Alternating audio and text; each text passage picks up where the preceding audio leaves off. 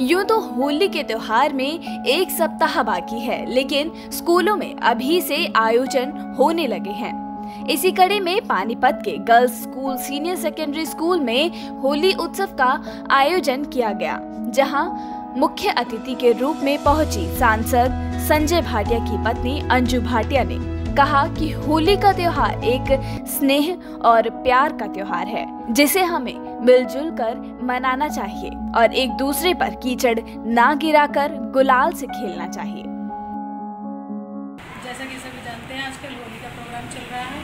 तो उसी प्रोग्राम की श्रृंखला में हमारे विद्यालय में आज की मुख्य अतिथि श्रीमती अंजू भाटिया जी आई और उन्होंने होली को प्रोत्साहित करते हुए कि पानी का कम से कम यूज़ किया जाए। और उन्होंने फूलों की होली को अधिक महत्व दिया। हमने विद्यालय में उनके साथ फूलों की होली खेली। साथ ही उन्होंने ये संदेश देने का भी प्रयास किया कि अधिक से अधिक पानी को बचाया जाए और पौधारोपण ज़्यादा से ज़्यादा किया जाए।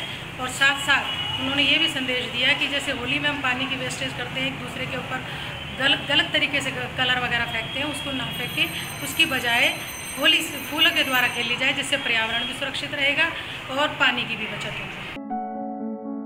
स्कूल में बच्चों को, टीचरों ने गुलाल लगाकर और फूलों के साथ होली खेली।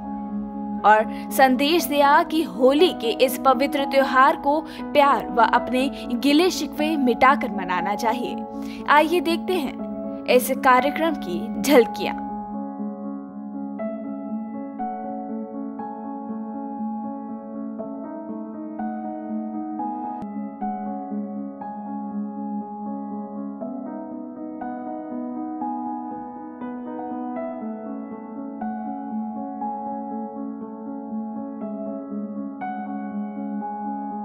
पानीपत से सन्नी कथूरिया की रिपोर्ट।